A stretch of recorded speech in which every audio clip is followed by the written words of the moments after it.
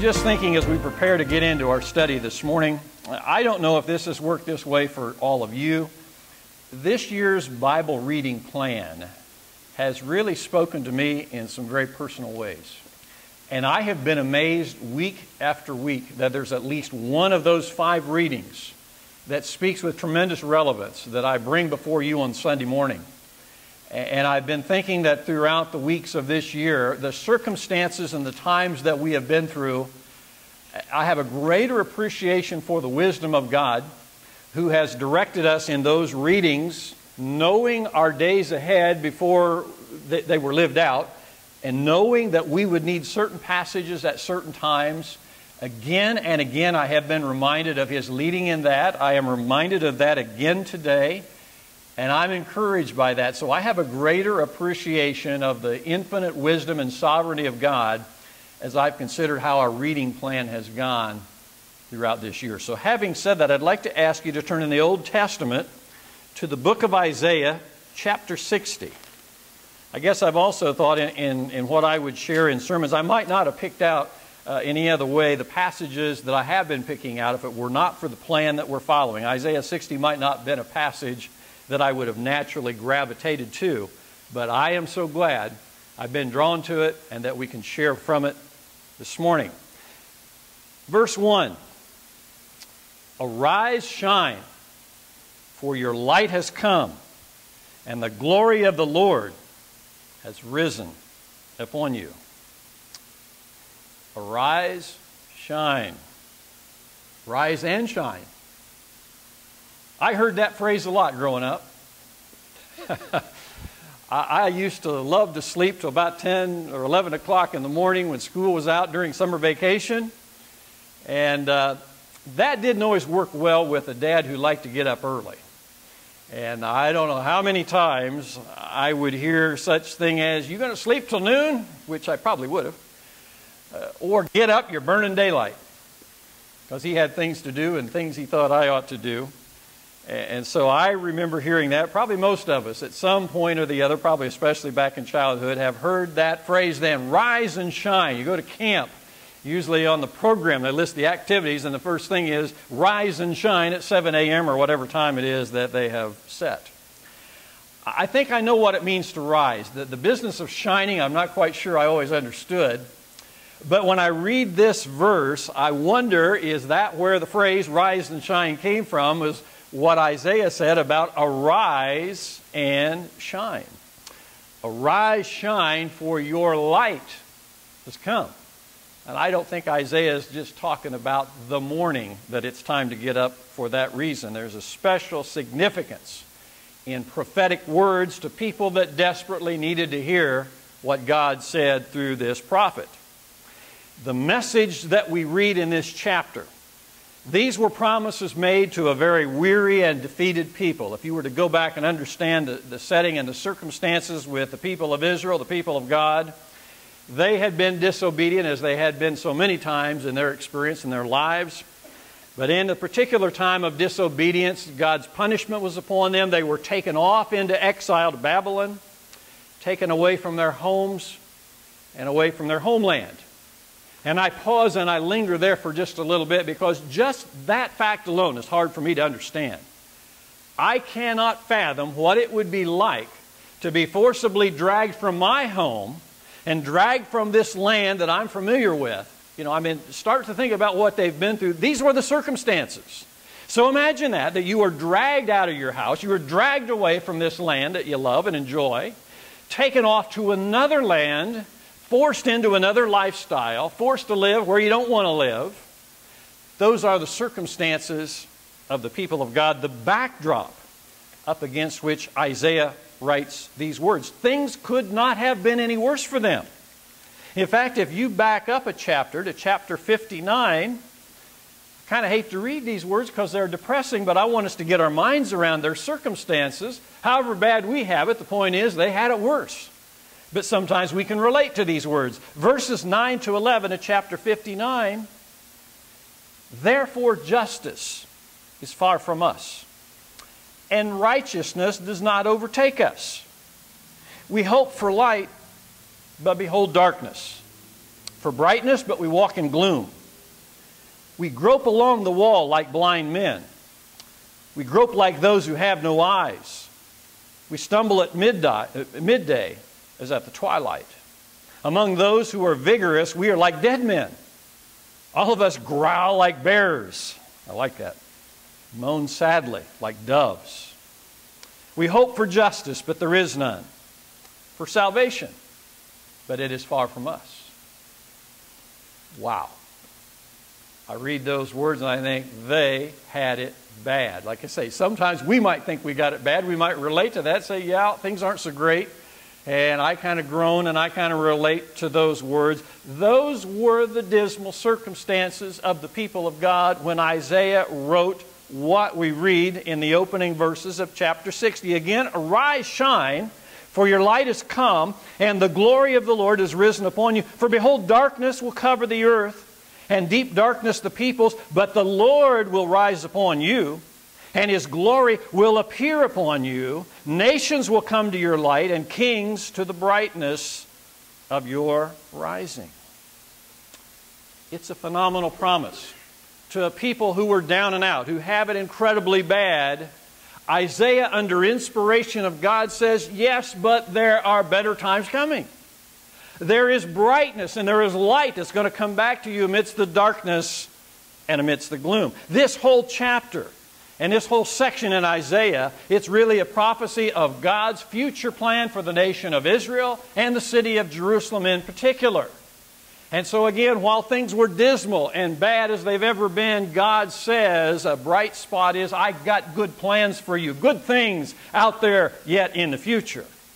And so it's really a kingdom promise because time and again we read in Scripture that God has a plan for the nation of Israel and Jerusalem to be the very centerpiece of the coming kingdom of God that we all long for and that we focus on so much. There is the promise of that light as he refers to the coming kingdom, but there's more to it than that. The promise of light has something to do also with the brightness of God's Son, who would rise up from the people of Israel as well. If you looked ahead into verse 6 in Isaiah chapter 60, there's an interesting th- thing said about that they will bring gold and frankincense. Y'all read that somewhere else? You heard about that somewhere else? Sounds to me like a reference to the wise men bringing those precious gifts to the Christ child. And so, a part of the brightness and the light that was in the future for them was the fact that God's Son would arise out of the midst of those people. Chapter 9 of Isaiah, verse 2, says, The people who walk in darkness will see a great light. Those who live in a dark land, the light will shine on them. Very special verse because that, I believe, refers to the light of God's Son coming. In fact, in Matthew chapter 4, verses 16 and 17, that very prophecy is quoted when it says, The people who were sitting in darkness saw a great light, and those who were sitting in the land and shadow of death, upon them a light dawned. And from that time, Jesus began to preach and to say, Repent, for the kingdom of heaven is at hand. The brightness, the light for the people of God, the people of Israel, was the Son of God appeared in their midst. And I just love that, describing the beginning of his ministry. That the people saw a great light. They, they eyeballed the Son of God, the, the brightest light of all, in a sense. And also, when they were looking upon that light, it says synonymous with that, that he began to preach the message of the kingdom of God. So the true light for the people of God back then was the Son of God appearing on the scene and declaring and demonstrating the message of the kingdom of God, certainly the ultimate of the great light. It all comes down to us today as we think about this imagery of light and brightness. We are those who have seen the light of Christ. We have seen him as the Son of God. We know that Jesus is the Christ, and we also recognize this great kingdom of God message. You know that I can't talk about him without talking about the kingdom because they go hand in hand. That is the good news of Scripture. It's great news that he appeared and offered his life as a sacrifice, but it's phenomenal news that he came onto the scene through his miracles and through his healings to declare and to demonstrate there's something else coming. There's a great day coming. There's a kingdom that will come through the Christ. We are those who have literally seen the light. We see the Christ and we see his message. And so is those who have been enlightened in a very real sense. We're called to live the lifestyle of those who live in that light. I'd like you to jump ahead to Ephesians chapter 5 for just a bit. Ephesians, the fifth chapter. I'd like to look at verses 6 through 16 in that passage. I, uh, again, it's Ephesians chapter 5, verses 6 through 16. The Apostle Paul writes to us. He says, Let no one deceive you with empty words. For because of these things, and we pause for a moment on the these things, the previous verses, he talks about an ungodly lifestyle. Because of these things, the wrath of God comes upon the sons of disobedience. So he challenges, therefore, do not be partakers with them. For you were formerly darkness. You used to live that way. You were formerly darkness, but now you are light in the Lord. Walk as children of light. For the fruit of the light consists of all goodness and righteousness and truth, trying to learn what is pleasing to the Lord. Do not participate in the unfruitful deeds of darkness, but instead even expose them. For it is disgraceful even to speak of the things which are done by them in secret. But all things become visible when they are exposed by the light. For everything that becomes visible is light. For this reason it says, Awake, sleeper, and arise from the dead. And Christ will shine on you. Therefore, be careful how you walk, not as unwise men, but as wise, making the most of your time, because the days are evil. Deeds of darkness. That's why the wrath of God will eventually come. And we are told very clearly those who practice such things can expect the wrath of God on Judgment Day.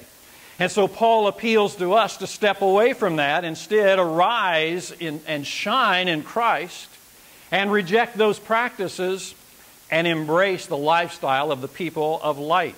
We are light in the Lord, as Paul says, and so therefore we are to walk as children of light. That's as basic as it gets, but how very, very important it is. We need to be reminded of that from time to time. If I profess to belong to the one who is light, then it behooves me to walk in a light lifestyle, to live the kind of lifestyle that is consistent with that practice. So we are the enlightened ones, therefore we are to walk as children of light. So again, we go back to Isaiah when he says to us, Arise and to shine. Those are two action words. And I think when we are called upon to arise and shine, even as the people of Israel were called upon to do, that we, the people of God, cannot and must not live passive lives. That's what I walk away with when I read those words. Arise, rise up and to shine means that we live an active lifestyle that pleases our Lord. One writer says, Arise, we need to cease walking with the world. We are mission oriented. We need to arise from compromise with the world and to strive for the glory of God's kingdom. I say amen to that. That's right. That's what I understand about arise from what uh, Isaiah the prophet says to us. If I am to arise, I rise up from walking the way of the world. We rise up from walking the way of the world. The world has a mindset, the world has a way it wants us to, to walk. We rise up and say, we're not going to go that way. We're not going to walk that way. We are a mission oriented people. We rise up away from compromise with the world and as that writer says, we strive for the glory of God's kingdom. We're all about the king and about the kingdom. And so we rise up to walk in that way, to be obedient to that mission that is set before us. I hope you notice what we print on the cover of the bulletin week after week. It's more than just a good saying. This is the mission that we are oriented towards teaching, training, living the kingdom message we, the people of God, rise up for that mission and that purpose. That's what I believe we are about. It is our objective to constantly teaching, directly and indirectly, to be teaching the kingdom message.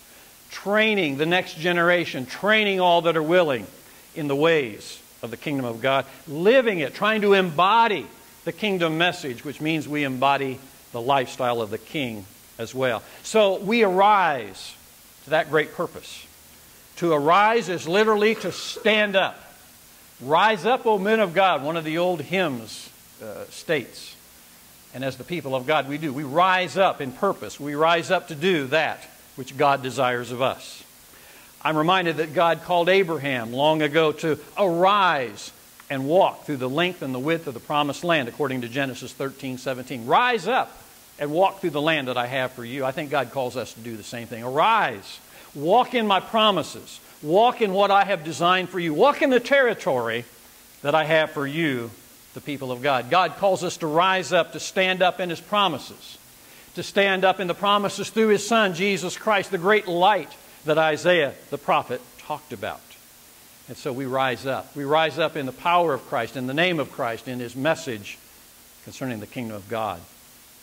I believe the Apostle Paul had a goal to rise up in Christ and in the power of his resurrection. Because when I think of the word arise, I also think of resurrection. But I love the words of Paul in Philippians chapter 3, verses 10 and 11. You probably know them well. Paul said, This is my mission, that I may know him and the power of his resurrection and the fellowship of his sufferings, being conformed to his death, in order that I may attain to the resurrection from the dead.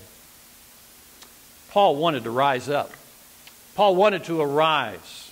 And Paul knew the promise was made that he would arise in resurrection, but that was not enough for Paul any more than it should not be enough for each one of us. Sure, we look forward to the resurrection. I'm thinking this week in particular, we've been reminded of how bright and important that is. We've gone with two families through a time of grieving, and we're reminded about resurrection.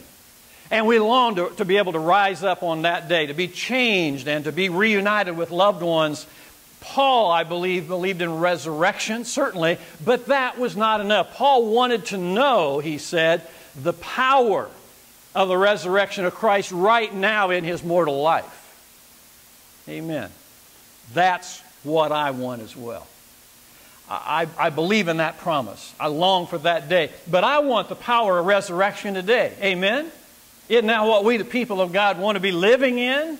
Not just longing for, but living in the power of resurrection today. So that's what I think it means to arise as we go back to Isaiah. Rise up in the power of the risen Christ, which Isaiah probably only had a, a slight glimmer concerning. But we know today that, and we echo the words of Paul. We want to arise and so we want to enjoy resurrection life now as we anticipate it in the future. Isaiah said, Arise, shine. It is not just enough to rise. We, the people of God, are called to also shine. You are the light of the world. A city set on a hill cannot be hidden, nor does anyone light a lamp and put it under a basket but on the lampstand, and it gives light to all who are in the house. Let your light shine before men in such a way that they may see your good works and glorify your Father who is in heaven. Matthew 5 14 to 16. We are declared to be the light of the world. Again, as Isaiah said to the people of Israel, Arise, shine they were called to rise up and shine. We are shining. As the people of God, we are declared by Jesus to be the light of the world. And so, therefore, we set the light in such a way that the world will look at it and not say, well, what great people they are. No, it's not about our glory. We let it shine in such a way that they see a consistent lifestyle, and instead of saying how good you are, wow, how great God is. And so they give the glory to God. They glorify God because they see our light shining. 2 Corinthians 4, verse 6. For God who said, Light shall shine out of darkness, is the one who has shone in our hearts to give the light of the knowledge of the glory of God in the face of Christ. Isn't that a great verse? God said, Light will shine out of darkness. It takes us back to Genesis and we think about how originally the physical light would shine out of the darkness, but that's merely an image of a greater light. There is light that would shine out of the darkness of sin, out of humanity. There would be the light that would shine forth in Christ and the light that shines in our hearts.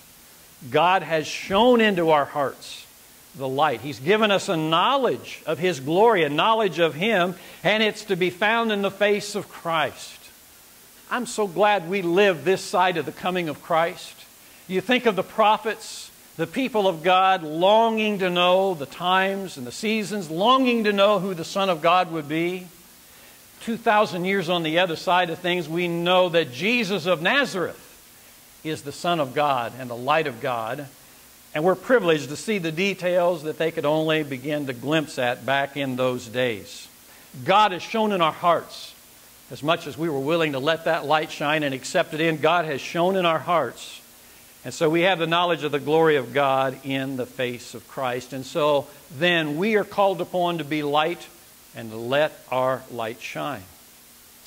Reminded that we can only shine our light as it has been shining in our lives as well. We have no light within us. There's nothing but darkness in our lives naturally. But as God has shown His light through Christ into our lives, we have a light that can be reflected. And so I think we're more like the moon than the sun. The moon in its brilliance is only reflected from the sun, and so it is with us. We shine as we reflect what has come into our hearts and into our lives. Arise and shine. I think that we are shining to talk about rising up and shining, to say that the people of God in this room are not, no, not saying that in any way at all. We are shining. And I know there are specific ways people in this room are shining. As we said a little bit ago, I know we've been involved in comforting and helping a couple of grieving families this week in specific ways. We were shining as we did those things. I know that there are deeds and acts of goodness that are carried out every week by people in this room, deeds that are known only to the individual and to God and by no one else. That's how it ought to be. We are shining as we do those things. So the call to shine does not say we aren't.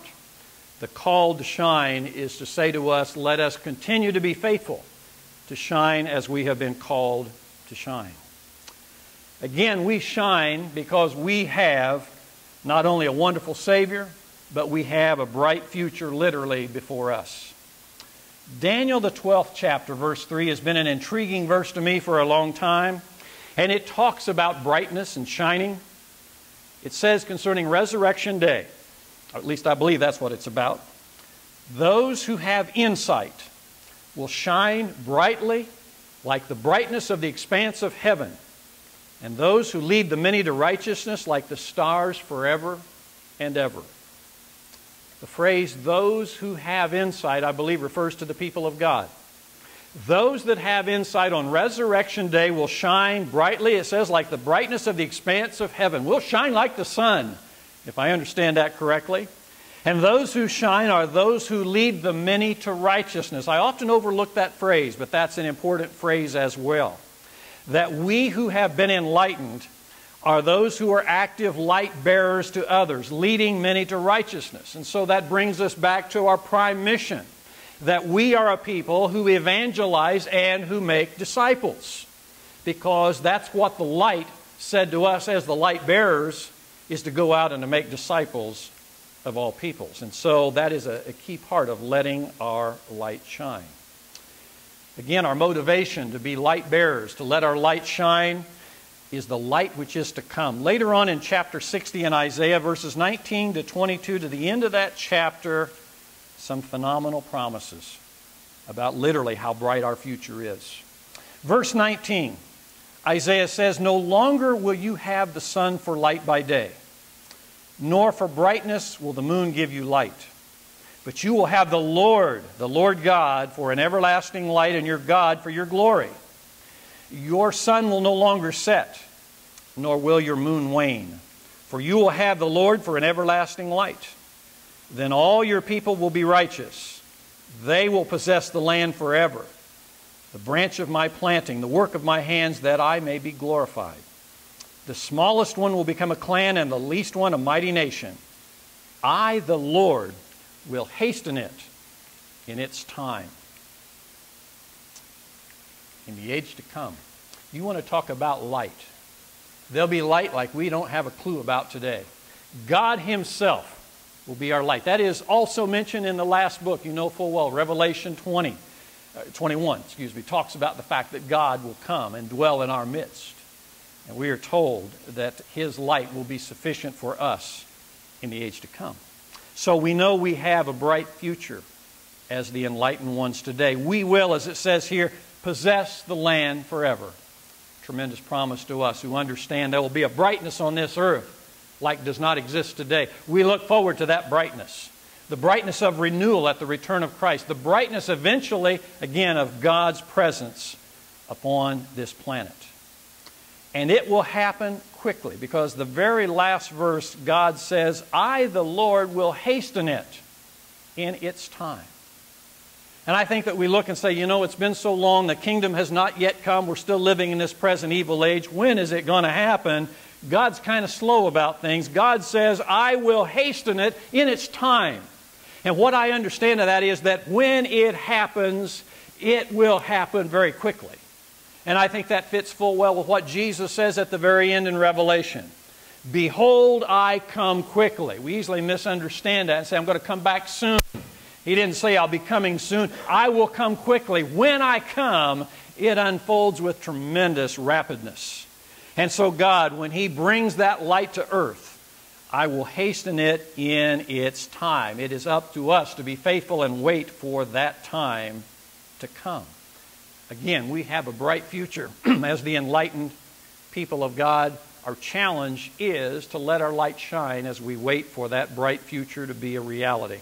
Along the lines of what we've been talking about, there is a story, and I may have shared it with you before, but I think it fits so well with these thoughts in this text. It is a famous story about an incident that took place uh, back during the colonial days of this country. And I just want to read to you how one historian recorded it. The 19th of May, 1780, was a remarkably dark day. Candles were lighted in many houses. The birds were silent and disappeared, and the fowls retired to roost. The legislature of Connecticut was then in session at Hartford. A very general opinion prevailed that day that the day of judgment was at hand. The House of Representatives, being unable to transact their business, adjourned. A proposal to adjourn the council was under consideration. When the opinion of one Colonel Davenport was asked, he answered, I am against an adjournment. The day of judgment is either approaching or it is not. If it is not, there is no cause for adjournment. If it is, I cho choose to be found doing my duty. I wish, therefore, that candles may be brought. I like that story because on a day that was an extraordinary day, a very dark day, I suppose it was easy for people to assume that the day of judgment was at hand. And so, be that the case, this is not a normal business day. Let's adjourn and get on with other things. But apparently, there was one individual who had the right perspective. And I think it is the kind of perspective that we, the people of God, ought to have as well. It's either the day of judgment or it's not. Either way, it's time to be up and about what we're called to be up and about. And so the desire was for candles to be brought in, to let the light shine, and I would say that fits our situation as well. If we're approaching the day of judgment, we believe that we are, but regardless, we are called to be consistently about being people of light. As Isaiah said in chapter 60, verse 2, that we read a little bit ago, darkness will cover the earth, and deep darkness the peoples, but the Lord will rise upon you, and his glory will appear upon you. I think we would say this is a dark time in history. That as we approach the end of the age, it's going to be incredibly dark. And so we see the day of judgment come. Do we decide to adjourn and do whatever else we want to do? No, we stay the course. We do those things that are important because we're called to arise and shine and to let our light shine. And so that is the challenge for us today and every day as we look forward to the brightness of the age to come, even as we face some dark days before that happens. Those are our marching orders and priorities. Amen?